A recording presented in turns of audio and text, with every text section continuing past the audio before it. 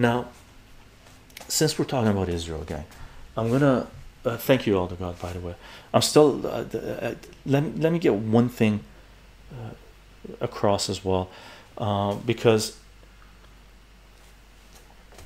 this is important. This is part of uh, something I read. Okay, so just to set the stage, we're talking about sort of what's going on with Israel, what's going on in the United States, what's going on in the UK, what's going on in Canada, what's going on in the Western world, what's going on to a certain degree in Latin America and stuff like this, right? I read a long article about 25 years ago, it was the late 1990s, right? That I read this article. I've tried finding it over years multiple times and I haven't been able to find it again, right? And in this article, it stated the following. Okay, I'm going by memory, I'm summarizing, and I'm going to make it quick.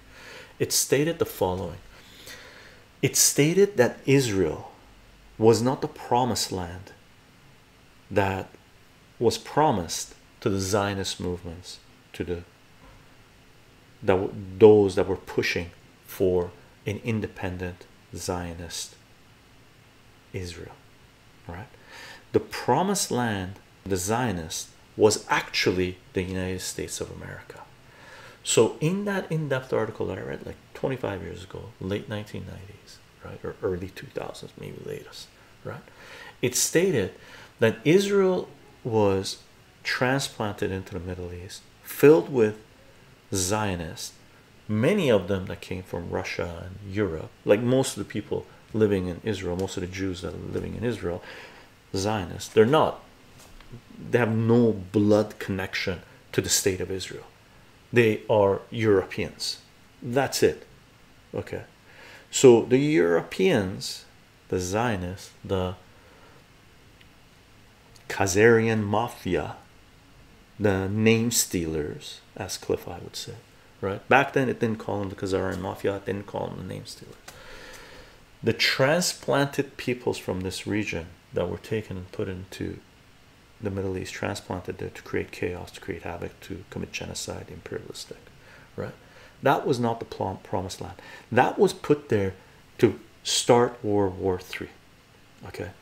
And the agenda was once World War Three started, this whole area would blow up. Nuclear weapons would come into play, and the Zionists that were promised this land, all of a sudden they would all flood to the United States of America and Canada because this was really the promised land that their biblical prophets promised them and all that jazz, right? So, this is really the promised land, and they would be completely independent from the chaos that they unleashed here and the devastation that is to come to Europe. And they didn't want Africa anyway for its resources and stuff. Um, I hope that's not delivery. Um, but what they did, the reason they did this is because they're going to have enough resources because there's a huge amount of resources off the coast of Venezuela, Guyana, French, uh, Guiana, Suriname, Brazil in this area that they're going to tap once this movement happens.